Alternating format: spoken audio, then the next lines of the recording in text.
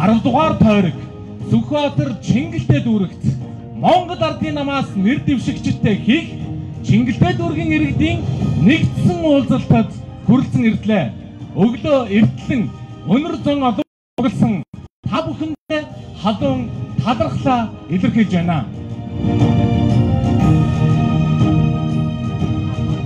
1.5 сая иргэнтэй нийслэл Улаанбаатар хотын хоймор дүүрэг Чингэлтэй Олд зүрхэн дүүрэг Сүхбаатар дүүрэг энэ оны хурлын сонгуульд нэгдэж нэг тойрог болгон өөрийн илгээх төрийн түвшээдийг сонгох даалгавартай болсон. Иргэд сонгогч та бүхэн улс орны хэмжээнд нэр дэвшиж байгаа мянга орчим нэр дэвшигчдийн дундаас 6-аг нь өөрийн төлөөлөл болгон сонгох учиртай. Өнөөдөр улс төрийн ууган хүчин Монгол ардын намаас та бүгдийн захиас даалгаврыг хүлээн улсын хуралд хөдөлмөр зүтгэлээ зориулахаар нэр дэвшиж байгаа нэр дэвшигчтэйгээ бид уулзаж, танилцж, санал бодлоо хэлж захиас даалгавраа өгөх. Эрхэм хүндэт хэрэгт та бүгдийг энэхүү уулзалтад ажил хэрэгчээр хандаж, анхаарал тавин сонсож, нэр дэвшигчдийн бодлого хөтөлбөр, үйл ажиллагаатай бүрэн танилцсан уу хэмээн хүсэж байна. Өнөөдрийн уулзалтад хүрэлцэн ирсэн иргэд та бүхэнд дахин талархлаа илэрхийлэхийн савцуу одоо энэхүү тайзнаа Монгол ардын намаас 10 дугаар тойрогт нэр дэвшиж байгаа нэр дэвшигчдийг уран залах гэж байна хүлээн авна уу?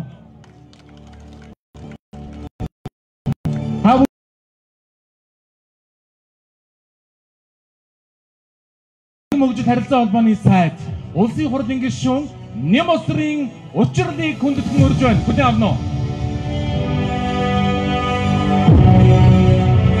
Мөн та бүгдийн өмнө 10 дугаар тойрогт Монгол Ардын намаас нэр дэвшигч Чингэлтэй дүүргийн засаг дарга Бадсүмбэрлийг өрж байна. Хүлээн авна уу?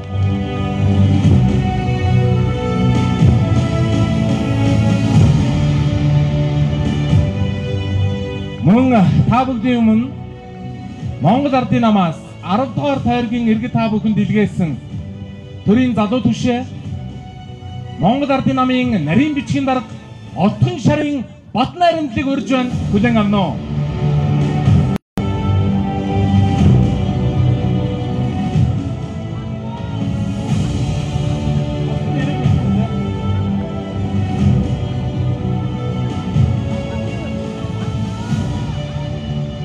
Мөн та бүгдийн өмнө улс төр төшөлцгээр өөрийн хүсэл эрмэлзэл залуу насныхаа эрч хүчээр энэ том өрсөлдөөн, энэ том үүрэг хариуцлагын төлөө зүтгэж байгаа G-Mobile компани төлөөлөн удирдах зөвлөлийн дарга Jet Scooter компани үүсгэн байгуулагч Ганзаргийн дашнамыг урьж байна хүлээн авна уу?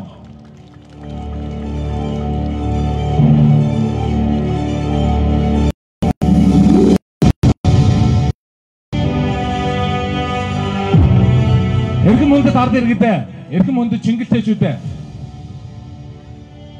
Тун удахгүй Мөнхөгийн оюун чимэг гишүүн, Дандны цогтоотор гишүүн та бидний уулзалтыг зорин ирж яваа. Иргэдтэй гар барьж мэдчилэх тэдний уулзалт хараахан дуусаагүй байна.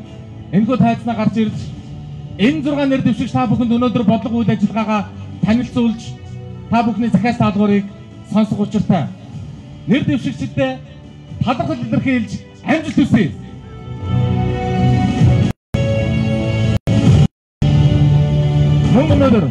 Нийслэл Улаанбаатар хотын хоймор болсон Чингэлтэй дүүргийн нийт ард иргэдтэй нэр дэвшигчдийн уулзалтыг нээж та бүхэнтэй мэдчилж нам засгийн үйл ажиллагааг танилцуулж нэр дэвшигчдийн тухай мэдээлэл өгөхөөр та бүгдийн өмнө нийслэл Улаанбаатар хотын захирагч хотын дарга нийслэл хотын Монгол Ардын намын хорооны дарга Нямбаатар дарга хүрэлцэн ирсэн байгаа. Түүнийг эндэр дээр урьж өн хүлээн авна уу?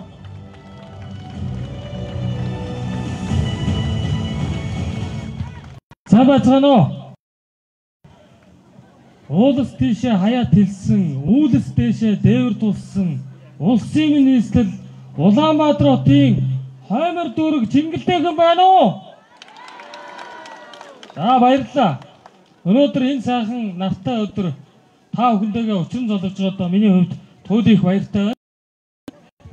Монгол улс ажлын хөгжлийн замналаар замнаад 30 гаруй жил боллоо. Монгол улс өмч хөгжлөл байгалийн баялагийг ашиглах гадаад дотоодтой нээлттэй харилцаанд орох энэ 30 гаруй жилийн хугацаанд алдаж онсон алдаа оноогоо дүгнэж шинэ 30 жилийг эхлүүлэх түүхэн хариуцлагатай сонгуулийн уулзалтан дээр та бүхэнтэйгээ би учран золгож өөрийнхөө багийн хамт дэмжихээр хүрэлцэн ирсэн гэдгээ хэлье. Саяхан би ажил намын сонгуулийн сурчлагын хэд хэдэн одоо суртал нэвтрүүлгүүдийг жилийн алдааг засъя гэдэг ийм уриалгатайгаар нөхдүүд сонгуульд оролцож байна. Тэгвэл яг 8 жилийн өмнө учрал гишүүн бит хоёр сонгон хайрхан дүүргээс хамт улсын хурлд анх удаага сонгогдсон.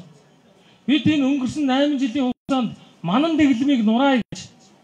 Өнгөрсөн 8 жилийн хугацаанд бид нар байгалийн баялагийг ард түмэнд нь тэгш үртэй гэж. Өнгөрсөн 8 жилийн хугацаанд бид нар шудраг усын хонглыг нураа гэдэг. Өнгөрсөн 8 жилийн хугацаанд бид нар ард түмний мэд хэрхийг хангая гэдэг. Ийм хоёргүй сэтгэлээр өнгөрсөн 8 жилийн хугацаанд зүтгэж өнөөдрийн энэ өдөртөө та бүхэнтэйгээ учран золгож байгаа.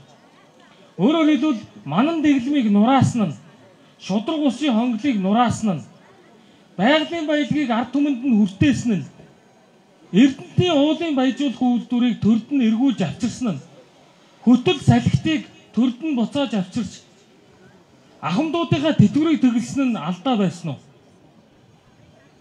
Өнгөрсөн 8 жилийн хугацаанд эрх баригч улс төрийн хүчинтэй холбоотой элдв хил ам тасрааг нь үнэ.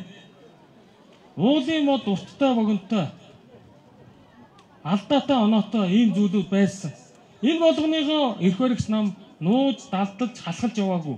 Харин эсэргээр илчилж, илрүүлж, хариуцлага тооцож, ёс зүй хариуцлага тооцож олон нийтэд дэлгэсэн нь алдаа байсан уу гэдэг дээр эрхэм хүндэт сонгогч та бүхэн маань дүгнэлтээ хийгээрэй. Учир нь гişүн бидэд хамтдаа нийтийн мэдээллийн ил тод байдлын тухай хуулийг батлуулсан. Би тухайн үед хууль зүйн дотоод хэргийн сайдаар ажиллаж байсан. Энэ хуулиар Монголын ард түмний бүх мэд хэрхийг хангасан. Газрыг яаж олгодог, ашигт малтмлыг яаж олгодог, боловсролын сангийн зээлийг яаж авсан, богдуулан тэн газар авсан, тэр байтугай бусад зөвшөөрлүүдийг хэн авдаг? Бид өөрсдөө ийхүү хууль гаргаж энэ 30 жилийн эхлэл эрүүл тунгалаг ил тод нээлттэй явах зүйн үндсийг бүрдүүлсэн нь алдаа байсан уу гэдэг дээр та хүмүүс нэг дүгнэлт хийгэрэй гэдгийг би ихэнд хэлхийг хүсэж байна. Хоёрт миний ярих гэж зүйлүүд би хотын асуудал ярина. Би Улаанбаатар хотын засаг даргаар томилогдоод нийслэлийн засаг дарга бөгөөд Улаанбаатарын захирагчаар томилогдоод өнөөдөр 20 хоног. Хотын өнгөрсөн 30 жилийн богссон асуудлыг 7 сарын дотор өргөс авах гэж байгаа юм шиг шийдэж үнэхээр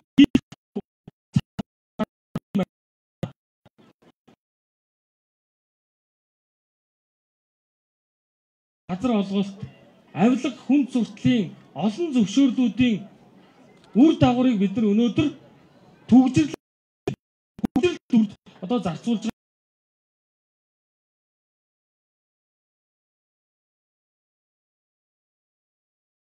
бодлогын хэд хэдэн томоохон шийдлүүдийг өнгөрсөн 7 сарын хугацаанд гаргасан. Юм бол Улаанбаатар метроны төсөл гараанаас гараад явж байна. Гэр хорооллыг орон сууцчлуулах сэлб баян өшөө шарууд толгойт дэд түүдийн ажлууд эхлээд явж байна. Энэ дээд салхитын доохон талд Чингэлтэй дүүргийн 18, 17, Сүхбаатар дүүргийн сэлб дэд дүүргийн газар чөлөөлнө гэж элдв төлс зуух янз бүрийн юмыг бид нар өнгөрсөн хугацаанд туршиж үзсэн. Давхарлагаа туурах одоо гонх гээд хэрэгжилж үзсэн. Эцсийн дүндээ гал төлж байгаа тохиолдолд утаа гарна гэдгүүд үнэн зүйлээ. Тийм учраас бид нар амьдралын хэв маягийг өөрчлөх зүйлүүд гэр хорооллыг иж бүрэн төлөвлөж орон сууцчул бодлого хинж марахгүй байх. Тэр утгаараа Чингэлтэй Сүхбаатар дүүрэгт нийслэл Улаанбаатар хотоос барьж байгаа хамгийн тэргүй ээлжинд барьж байгаа бодлого бол Сэлб дэдвийн 12 мянган айлын орон сууцны бүтээн байгуулалтыг ажлыг эхлүүлэхээр бид нар энэ 7 дугаар сард барилга угсралтын тендер зарлагаар болсон гэдгээ та бүхэндээ хэлье. Энэ удаа Монгол Ардын нам ард түмэн ялна гэсэн өрөөтэй орж байгаа. Ард түмэн ялна гэдгийн цаа дагуулга нь хамгийн наад зах бид багаараа ялж чадах юм бол Чингэлтэй дүүрэх сүндэрлэн босох Сэлэв дэд түүхийн барилгын ажил цаашаа тасралтгүй үргэлжилнэ. Хэрв сөрөг хүчин гарч ирвэл сөрөг хүчин гарч ирвэл Нимбаатрын бодлогыг унгаана гэдгийг та маань шулуун шудраг ойлгох хэрэгтэй шүү. Хоёрдугаарт ард түмэн ялах уу? Атлантын цаана байгаа элбэг дөрж ялах уу гэдэг дээр ард түмэн маань бас дүгнэлтээ хийгээрэй. Манай залуучуудтай нэр дэвшиж байгаа би нэр арцнааваас нэр дэвшигчдийг одоо бүгдийг ичнэ таниа. Өнөр баяр гэж хүм залуу Элбэг дөрж гэдэг хүний ерөнхийлөгчийн хамгаан газрын хуулийн бодлогын дараагаар ажиллаж ирсэн шудраг усын хонглыг угсарч өрөхөд яг хажууд нь цуг тоосхын өрөлдсөн хүн гэж би боддог.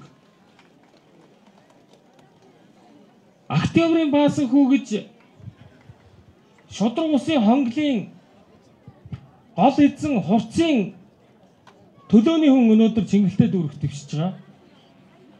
Баатар хүн гэж залуу Элбэг дөрж гэдэг одоо энэ шудраг усын хонглыг угсарсан хүний одоо үнэнч зөвлөхөр ажиллаж ирсэн ийм хүмүүс одоо энэ дүүрэгт манай залуучуудтай хамт өрсөлдөж байна.